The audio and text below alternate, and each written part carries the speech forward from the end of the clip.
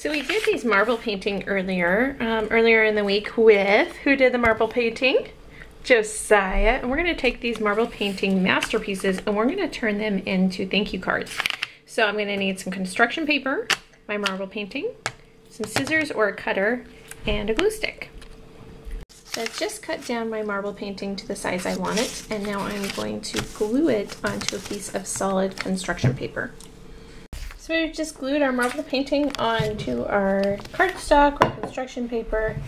And there's our pretty framed masterpiece. This is especially a big hit with grandparents and aunties and uncles to be able to send them a little bit of your kids' artwork for them to display on their refrigerator as well. And then the back is a solid color, so it's perfect for writing your message and even letting my little guy write his own name.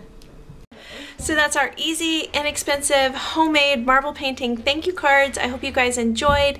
Leave me a comment down below if you've got any frugal, easy ways to thank others for the gifts you receive. Talk to you later.